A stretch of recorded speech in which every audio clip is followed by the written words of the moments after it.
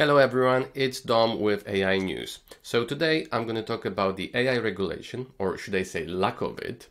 Harm. But you We should wait until we see harm before we regulate it? Uh, well, uh, I would say yes. and like what can go wrong. Understanding cats and dogs speech. Yep. And we're gonna go with Google I.O. AI part recap and much more.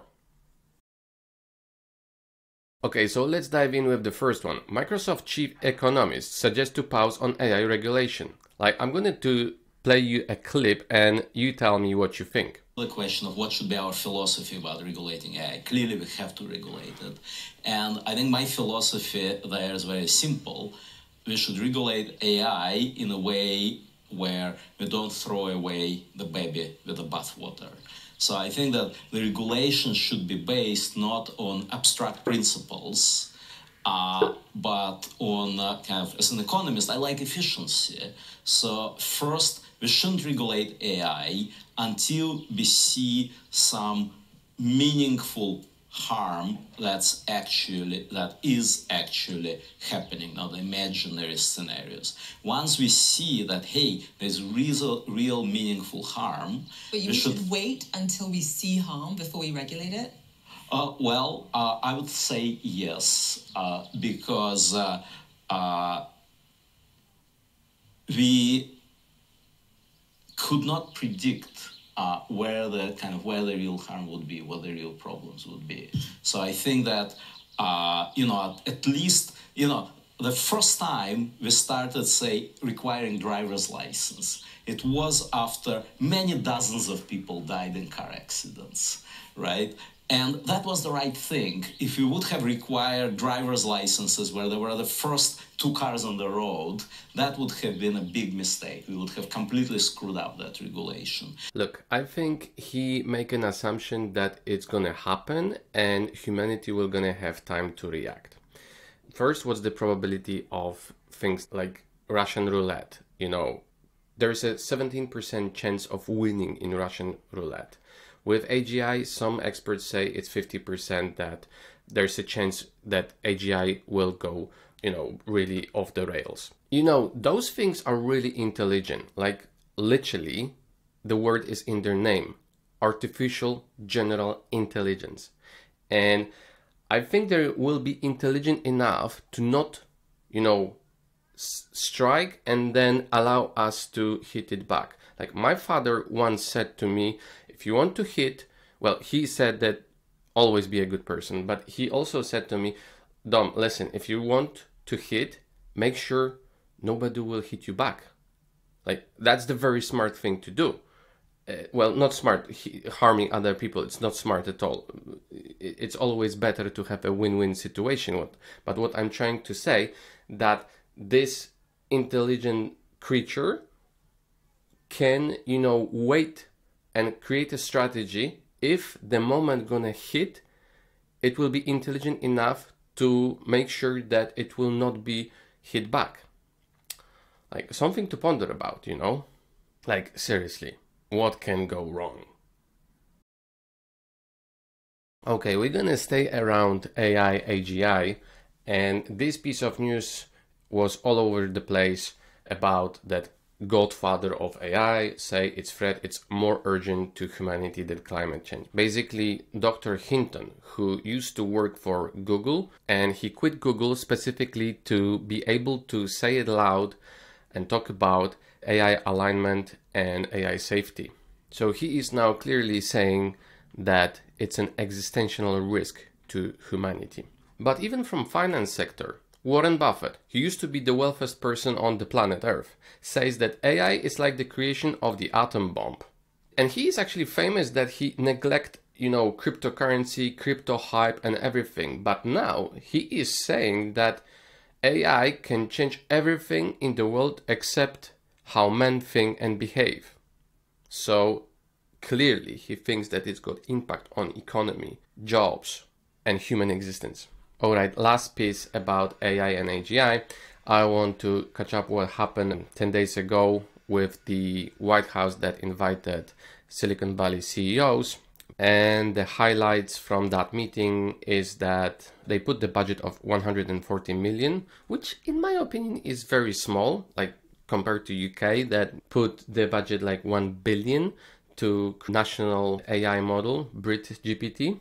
So I think the move is more towards the collaboration between the government bodies and all those AI companies and federal agencies, which makes sense because you want the government to use the latest tech. They're also put in place a testing framework. Yeah, and obviously the last piece is it will also empower agencies to responsibly leverage AI to advance their missions. Yeah, I think that's the real thing. Another small news which probably went under the radar for everyone because of all this crazy week of AI news is the company called Helion announced fusion power purchase agreement with Microsoft. Yeah, this is actually huge because the fusion power is actually the ultimate grail of the energy. And it's turbo related to AI because all those huge LLMs, large language models, consume tremendous amount of energy. You know, that's why they're streaming when you type to ChatGPT because they're taking quite a long time to process this all information and, and think process.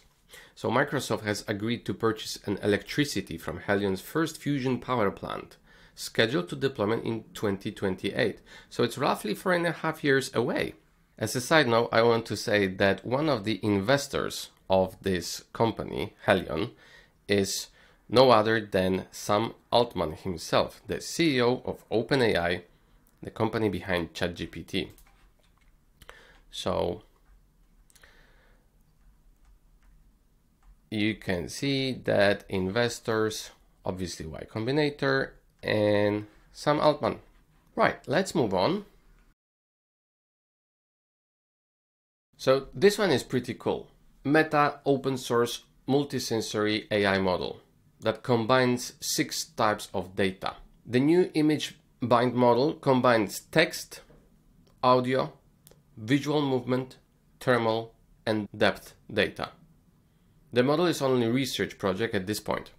So, for example, AI image generators like DALL-E, Stable Diffusion, Midjourney all rely on systems that link together text and image together during the training stage. And this model link all six.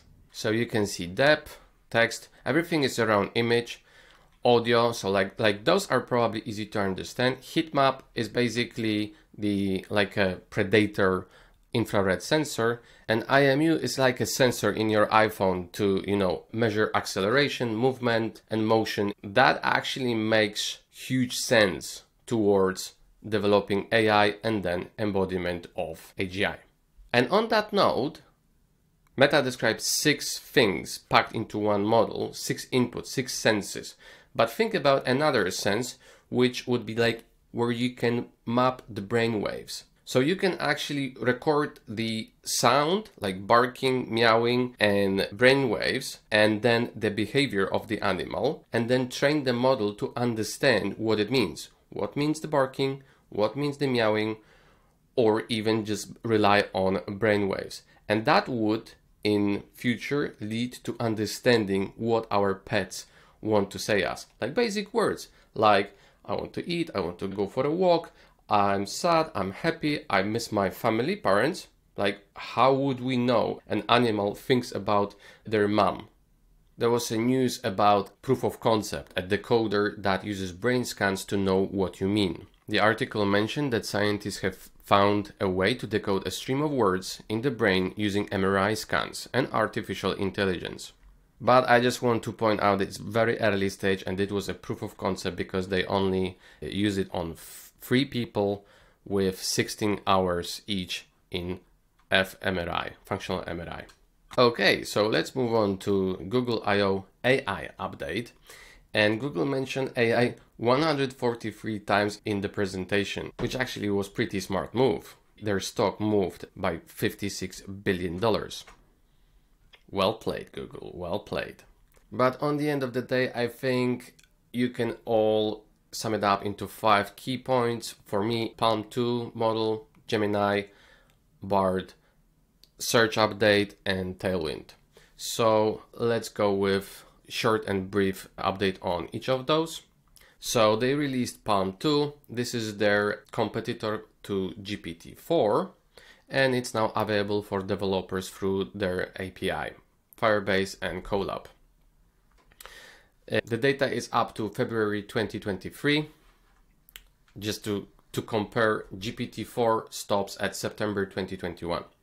Context length of input is 8000 tokens, which is about 6000 words, same as GPT-4 default. In their paper, they claim that it's smarter than GPT-4 in some tests, might be the case. They specifically mentioned that it outperforms Google Translate in translation task, even though it was not explicitly trained to do so, which I think that's the best use case for PaLM 2, which is worth to remember later on. They release it in many sizes, like Gecko, Small, Otter, Bison, Unicorn, Large, are now available now via v Vertex API. Right, next is Gemini. That's a Google's new multimodal foundation and built to enable future innovations like memory and planning, which is GPT-5 competitor. So it's funny because OpenAI said they stopped training GPT-5, but Google is actively actually working on their Gemini model, which some people say will be four times bigger than PaLM 2 or GPT-4. Okay, now let's talk about BARD, Google equivalent of ChatGPT. It is officially available for everyone, so no more waiting lists. And actually, BARD is running already on PaLM 2 model. How cool is that? So you can see they implemented a dark mode, thumbs up, good move. And they also talk about the exporting features, so you can export it to Google Docs.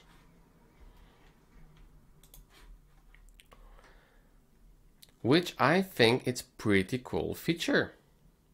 Next, they mention about Google search and AI-powered conversational mode in the search. But instead of rolling out the product immediately, yeah, you're gonna hit, they actually created the experience in labs and it's on waiting list. The last bit they presented was to actually add AI features to workspaces, Google workspaces like Google Docs, Gmail, etc. Similar thing what Microsoft presented with their Office. So imagine, for example, then you can have a chat conversation with all the docs documents you've got on your Google Drive. That's actually quite cool. And you remove this privacy thing because you already stored those things on Google Drive. It's actually huge. You know, like data is the king. So I'm not saying that they're gonna use it to train because they cannot do that. And as a side note, I want to say that box.com do exactly the same so you can join the private beta and you can have a conversation with all your documents and with collaboration. Okay, that's it for today. Thank you for staying till the end. If you liked it, please like my video. It's going to help me a lot. And if you want to have a conversation with me, please leave a comment down below. You can ask me any questions. I'm going to try to answer all of them. See you in the next video.